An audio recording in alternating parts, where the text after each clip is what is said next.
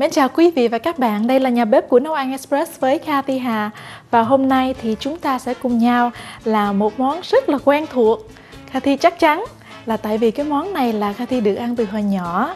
À, Nhất là gia đình người Nam thường hay làm cái món này cho gia đình mình. À, Kathy nói đến là món sườn cốt lết uh, pork chops mà Kathy thấy là bây giờ ăn với cơm rất là tiện về à, vào ừ, cuối tuần hoặc là ngày thường cũng được. Và hôm nay chúng ta sẽ làm một cái nữa đó là chúng ta sẽ rim với thơm. Quý vị thấy đây là à, th- à, sườn cốt lết đây là cắt là cũng mỏng mỏng cũng không có quá mỏng. À, Kathy có đây khoảng chừng 6 miếng là vừa cho hai vợ chồng với mấy đứa nhỏ ăn. Xong rồi kế bên đây thì quý vị thấy là mấy trái mấy miếng thơm. Cái này là khoảng chừng nửa cái cái trái thơm mà ngoài chợ Kathy đã mua họ đã cắt sẵn rồi. Tỏi cũng giống như là rất là quan trọng chúng ta phải có đó là hành lá như thế này. Xong rồi kế bên này là mấy cái màu rất là đẹp, rực rỡ để mình ăn chung với salad giống như là radish. Đây là cà, cà tí hon màu vàng rất là ngọt và thơm. À, chua chua ngọt ngọt, hành tím. Đây là baby spinach. À, thường thường ngoài chợ thì họ đã à, bán sẵn cho chúng ta chỉ về lấy ra ăn mà thôi. Nó là cái loại mà nhỏ nhỏ nên ăn không có quá đắng. Đó, đây là baby spinach. Xong rồi đến đây những cái gia vị mình thấy đây cũng rất là quen thuộc đó là coco soda. Cái đây là nếu mà quý vị có nước dừa tươi thì càng tốt. Nhưng mà nhiều khi cái đó thì hơi có hiếm có đó nên mình xài soda coco như thế này cũng được. Đây là mật. Mình nhớ là phải xài nước mắm nhĩ nha. Xong rồi cái này là phần giấm. Để một hồi mình làm pha giấm cho cái phần salad cũng giống như tí xíu tiêu muối đường thì trước tiên thì mình sẽ làm tí xíu tỏi với hành để mình dầm ra đặng cho mình ướp thịt cho nó thơm. Ừ. cái món này đó nếu mà mình ướp qua đêm cũng được nhưng mà nhiều khi mình không có thì giờ ướp qua đêm thì là mình làm ngay trực tiếp là mình nấu cũng không có sao. Và hành lá này thì mình sẽ xài cái phần trắng mà thôi như thế này đây. Cắt ra làm đôi đây đặng dễ mà à, hồi nó dầm ra đó mình có thể làm như thế này mình đập sơ sơ ra trước. Như thế này xong mình để vào cái cối. Nếu mà mình có thì giờ đó thì mình có thể ướp miếng thịt qua đêm cũng rất là ngon. Mà nếu mình không có thì giờ thì mình ướp liền. Xong rồi mình chiên lên cũng không có sao. Uh, như vậy mà cũng mà cũng cay. Bây giờ là kế tiếp là phần tỏi nha. Chắc xài 4 tép tỏi to. Rồi, mình sắc sơ sơ xong rồi, mình có thể là để vào đây. Mình làm cái này cũng tí tí, cũng à, rất nhanh. Nếu mà mình có cái máy xay thì cũng được. Thì muốn à, muốn vận động một tí. Ok, gần xong đây rồi, quý vị ơi. Alright thì mình có thể lấy ra, thì sẽ để vào cái cái tô đặng mình để thịt vào đi. Ướp luôn đó. Rồi, đây. Rắp. Rồi. Bây giờ đến phần Mình sẽ để vào. Thì sẽ xài ba ba muỗng mật nha. Như thế này đây.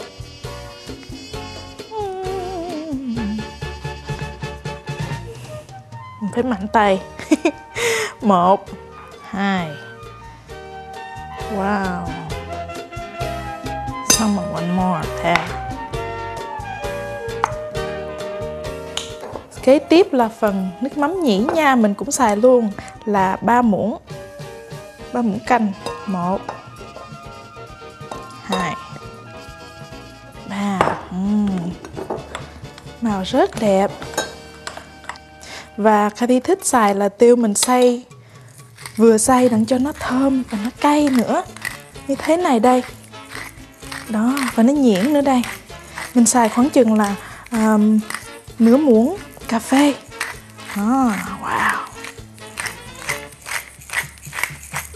Vừa thơm vừa cay.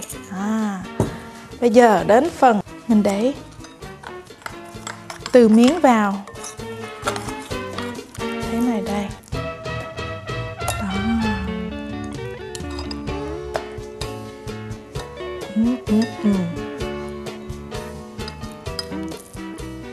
Người bạn Cathy mà người ngoại quốc đó rất là thích làm.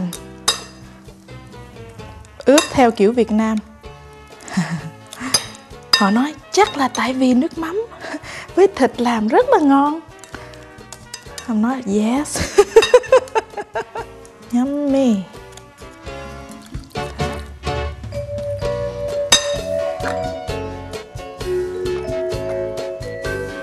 Đây, là xong rồi bây giờ mình có thể mình để cho ướp khoảng chừng 20 phút 20 đến nửa tiếng. Tại vì trong thời gian đó cái miếng thịt á Hồi nãy Cathy lấy từ trong tủ lạnh ra nên cũng khá lạnh. Nên bây giờ mình để đang cho cái cái miếng thịt à, nó nguội xuống một tí. Một hồi mình để lên chiên á thì nó dễ chiên hơn và nhanh hơn nữa. Uhm thi nấu nồi cơm. Và một hồi nữa chúng ta sẽ ăn với cơm. Alright Sau đây là đến phần thơm để chúng ta chuẩn bị là cái này Cathy đã mua ngoài chợ. Giờ mình lấy ra để mình cắt nhỏ lại. Và cái thứ hai nữa là nhiều khi à, cái tiệm này lúc mà họ làm thơm á, thì họ để cái à, cái cùi ở trên giữa đó nó hơi cứng. Mình sẽ cần phải lấy ra. Bây giờ mình sẽ làm cái này ra và cắt bằng hình đôi như thế này ở chính giữa thì cái cùi thì sẽ cắt nó ra như thế. Thơm này mình thấy nó vàng vàng là mình biết là nó sẽ sẽ là ngọt, chua chua, ngọt ngọt. Và cũng luôn là chúng ta sẽ xài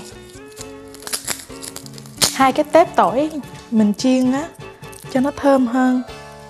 Cái thể nhỏ nhỏ, không cần quá to.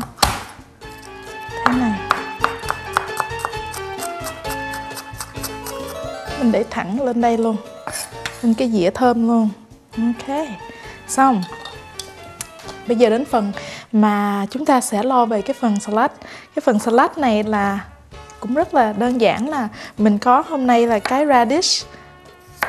Radish này rất là đẹp. Mình có thể cắt ra như thế này. Hồi nhỏ là nhà Kathy hay là ăn salad hay có cái ờ, cái radish này cái củ này là nó giòn giòn mà nó nồng nồng. Mà quý vị nói cái này là như thế nào nó rất là ngộ. Nếu mình nhìn kỹ lại nó giống như củ cải trắng vậy, nhưng mà nó tròn hơn. Nếu như ở trong nó cũng trắng trắng như thế, cái nhiều khi là có mùa mà nó hơi bị khô đó, ở trong nó bị xốp giống như là củ cải trắng, mình thấy vậy. Nhưng mà cái ngộ cái là cái da của nó đỏ, rất là dễ thương. Mà ăn cũng bổ nữa. Hồi nhỏ ca thi nhớ mà, thấy cái này đẹp lắm, xong ăn vô hơi cay cay, nồng nồng, không chịu nhưng mà lớn lên á, thì là chịu ăn. Còn mấy cái cà đây thì mình có thể cắt ra phân nửa, cũng được, hoặc là mình để luôn, cũng được, tùy theo. Cái nào mà nó quá nhỏ đó, nó tí hon á, giống như là cái này cũng hơi nhỏ nhỏ là mình có thể để nguyên. Xong sau đây là phần làm tí xíu mà mình muốn làm tí xíu mà giấm, nên mình sẽ xài củ cây mình sẽ làm mà với hành đỏ của hành đỏ đây. Mình xài cũng nhỏ nhỏ thôi 1 phần ba mình cắt nó thon thon, dài dài như thế này. Bạn cho nó giữ cái mà giòn giòn lúc mà để vào giấm đó. Thì sẽ để đây. Xong sau đây là làm phần giấm nha. Phần giấm này mình lấy đây. Một muỗng canh à, đường nha. Một muỗng à, canh giấm đỏ hoặc là giấm trắng tùy theo mình. Cũng giống như là một muỗng nước.